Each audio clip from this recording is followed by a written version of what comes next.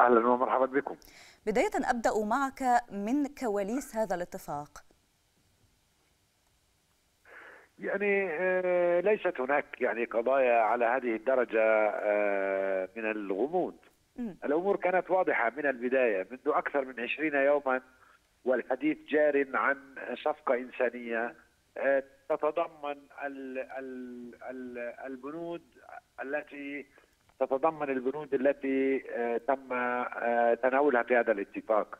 وقف إطلاق النار وإدخال ال- المساعدات الطبية والغذائية والمحروقات إضافة إلى إطلاق سراح الأسيرات والأسرى الأشبال الأطفال. فبالتالي يعني الأمور كانت جيدة وواضحة ولكن تلكؤ إسرائيل و آه، مكابرة نتنياهو في قدرته على تحرير الأسرى دون الحاجة لاجراء أي صفقات مع المقاومة آه، هو الذي حال دون تنفيذ هذه الصفقة في وقت آه، مبكر. ولكن هو وصف هذه الخطوة بالصعبة. وأيضا هناك مخاوف وأصوات بالحكومة الإسرائيلية المتطرفة والأكثر طبعا تطرفا منهم آه، يصفونها بأنها خطوة ربما تدلل على فشل إسرائيل في أرض المعركة.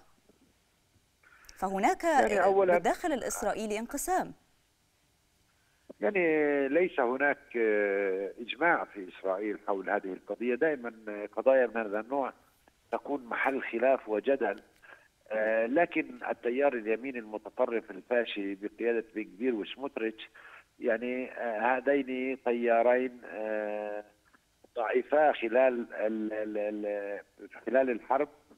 لأنهم آه، كانوا من ضمن أسباب حالة التوتر التي قادت لهذا الانفجار الكبير والذي تداعياته كانت خطيرة على الجميع.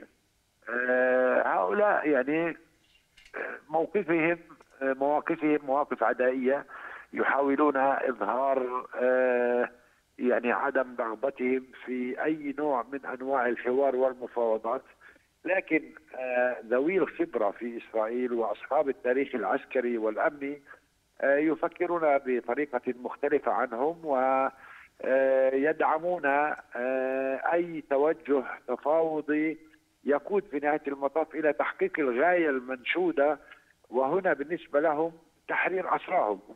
آه، حتى لو أدى ذلك إلى ثمن يعني كثير من قادة إسرائيل السابقين والذين كانوا تبوأوا مراكز عسكرية متقدمة أمثال يهود باراك وبوغي يعلون و آه، داني وآخرين كثيرين شاول مفاز. كلهم قالوا أنهم مع إتمام هذه الصفقة بل إنهم مع صفقة واحدة كبرى يتم بموجبها إطلاق سراح كافة الأسرى الإسرائيليين مقابل كافة الأسرى الفلسطينيين وسيد قدورة أسألكم الآن بصفتك رئيس هيئة شؤون الأسرى والمحررين الفلسطينيين هل هذه الصفقة وهذه الهدنة ولا عدد آه، المقابل لخروج 50 محتجز لدى آه، الفصائل الفلسطينية مقابل 150 هل هذه ال- الصفقة تعتبر مرضية بالنسبة لكم؟ يعني الأمور لا تقاس بهذا الشكل. يعني هذه صفقة ليس العنصر الوحيد فيها آه، تبادل الأسرى. يعني هذه لا يمكن أن نطلق عليها آه، صفقة تبادل اسرى بالمعنى التقليدي النمط الذي تعودناه في صفقات سابقة. مم. آه، هذه صفقة أكثر اتساعا وأكثر شمولا. الأسرى جاءوا بندا من بنودها وليس كل بنودها. آه، وقف إطلاق النار هذا مهم لأهلنا ولأبناء شعبنا في قطاع غزة. ادخال المواد الغذائية والطبية والمحروقات مسائل أساسية لا تقل قيمة عن تحرير الاسرى.